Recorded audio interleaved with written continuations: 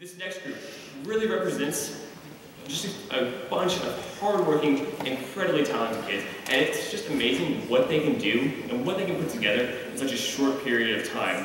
We had marching season, we had playoffs, and yet they're here playing four pieces at a very high level. So, without further ado, please welcome to the stage under the direction of Richard Hicks, the Lake Travis High School Wind Ensemble.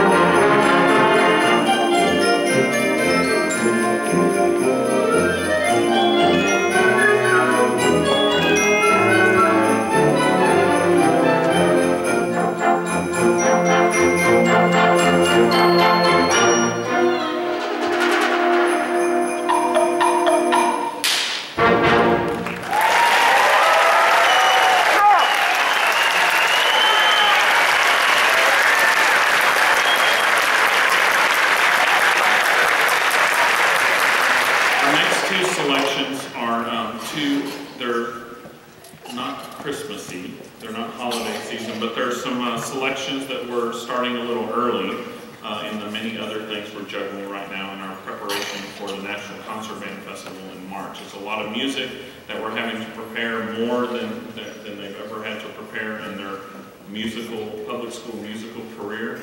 And so we've started a little early, and this is kind of a sneak peek. Okay, so the very next piece is going to be Irish Tune from County Derry.